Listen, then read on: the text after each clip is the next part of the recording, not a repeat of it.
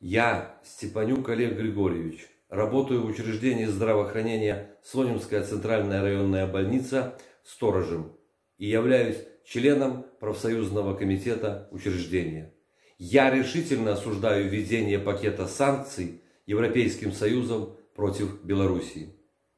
Мы, простые белорусы, понимаем, что эти меры направлены на дестабилизацию экономики нашей страны что в первую очередь это отразится на уровне жизни людей.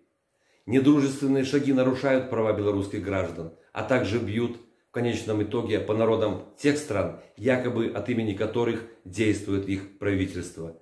Эти санкции противоречат международному праву.